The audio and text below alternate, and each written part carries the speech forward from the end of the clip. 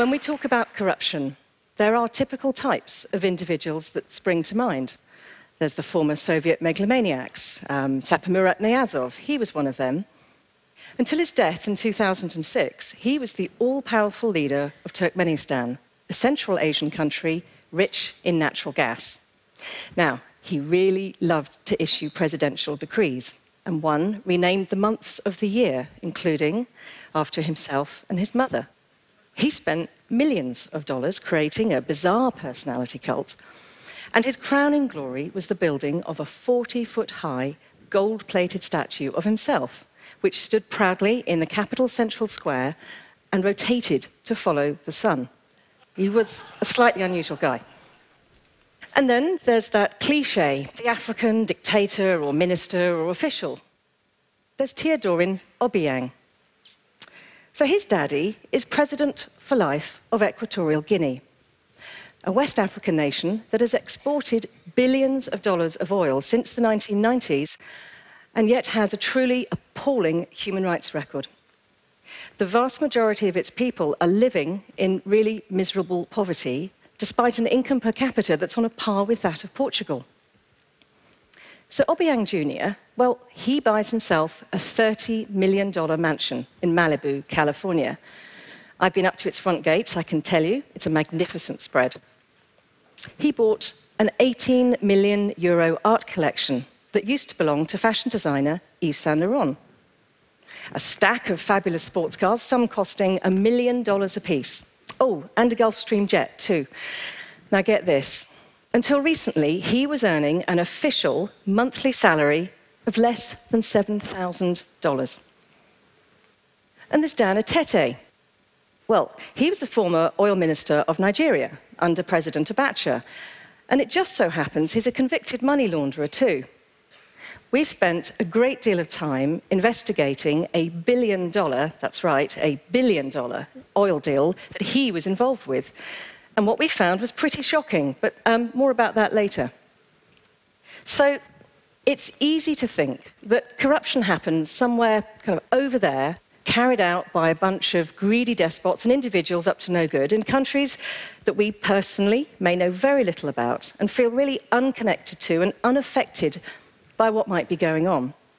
But does it just happen over there? Well, at 22, I was very lucky. My first job out of university was investigating the illegal trade in African ivory. And that's how my relationship with corruption really began. In 1993, with two friends who were colleagues, um, Simon Taylor and Patrick Alley, we set up an organization called Global Witness. Our first campaign was investigating the role of illegal logging in funding the war in Cambodia. So a few years later, and it's now 1997, and I'm in Angola, undercover, investigating blood diamonds. Um, perhaps you saw the film, the Hollywood film Blood Diamond, the one with Leonardo DiCaprio. Well, some of that sprang from, from our work. Luanda, it was full of landmine victims who were struggling to survive on the streets, and war orphans living in sewers under the streets, and a tiny, very wealthy elite who gossiped about shopping trips to Brazil and Portugal. And it was a slightly crazy place. So I'm sitting in a hot and very stuffy hotel room, feeling just totally overwhelmed. But it wasn't about blood diamonds, because I'd been speaking to lots of people there who, well, they talked about a different problem that of a massive web of corruption on a global scale and millions of oil dollars going missing. And for what was then a very small organization of just a few people, um, trying to even begin to think how we might tackle that was an enormous challenge. And in the years that I've been, and we've all been campaigning and investigating, I've repeatedly seen that what makes corruption on a global, massive scale possible, well, it, it isn't just greed or the misuse of power or that nebulous phrase, weak governance. I mean, yes, it's all of those. But corruption, it's made possible by the actions of global facilitators. So let's go back to some of those people I talked about earlier. Now, they're all people we've investigated, and they're all people who couldn't do what they do alone. Take Obiang Jr. Well, he didn't end up with high end art and, and luxury houses without help. He did business with global banks. A bank in Paris held accounts of companies controlled by him, one of which was used to buy the art. And American banks, well, they funneled $73 million into the States, some of which was used to buy that Californian mansion. And he didn't do all this in his own name either. He used shell companies. He used one to buy the property and another, which was in somebody else's name, um, to pay the huge bills it cost to run the place. And then there's Dan Etete. Well, when he was oil minister, he awarded an oil block now worth over a billion dollars to a company that, guess what? Yeah, he was the hidden owner of. Now, it was then much later uh, traded on with the kind assistance of the Nigerian government, I have to be careful what I say here, um, to subsidiaries of Shell and the Italian Eni, two of the biggest oil companies around. So the reality is, is that the engine of corruption, well, it exists far beyond the shores of countries like Equatorial Guinea or Nigeria or Turkmenistan. This engine, well, it's driven by our international banking system by the problem of anonymous shell companies, and by the secrecy that we have afforded big oil, gas, and mining operations. And most of all, by the failure of our politicians to back up their rhetoric and do something really meaningful and systemic to tackle this stuff. Now, let's take the banks first. Well, it's not going to come as any surprise for me to tell you that banks accept dirty money but they prioritize their profits in other destructive ways too. For example, in Sarawak, Malaysia. Now, this region, it has just 5% of its forests left intact. So 5%. So, how did that happen? Well, because an elite and its facilitators have been making millions of dollars from um, supporting logging on an industrial scale for many years. So we sent an undercover investigator in to secretly film meetings with members of the ruling elite. And the resulting footage, well, it made some people very angry, and you can see that on YouTube. But it proved what we had long suspected, because it showed how the state's chief minister, despite his later denials, used his control over land and forest licenses to enrich himself and his family.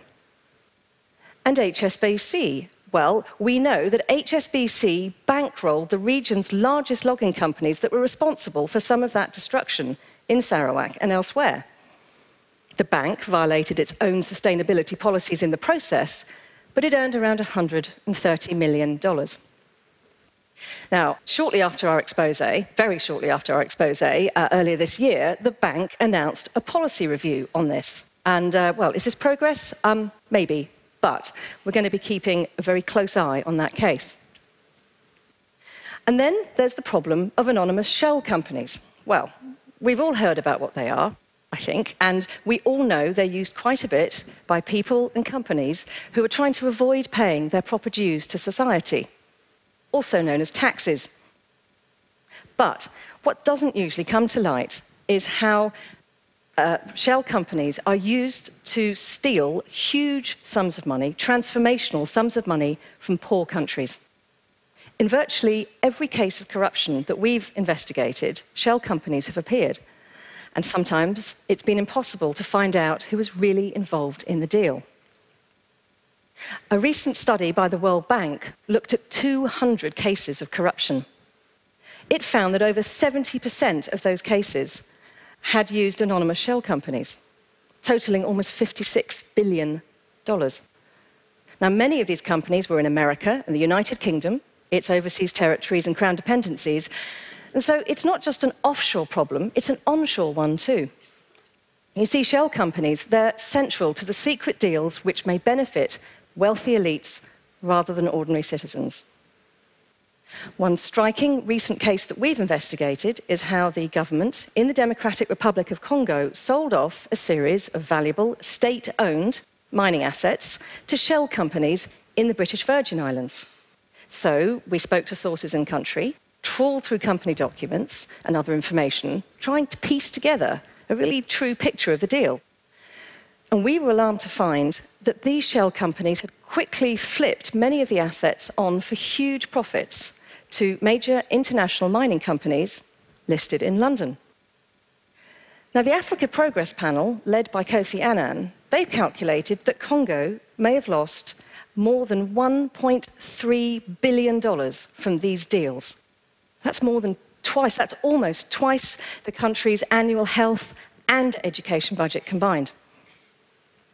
And will the people of Congo, will they ever get their money back? Well, the answer to that question, and who was really involved and what really happened, well, that's going to probably remain locked away in the secretive company registries of the British Virgin Islands and elsewhere, unless we all do something about it.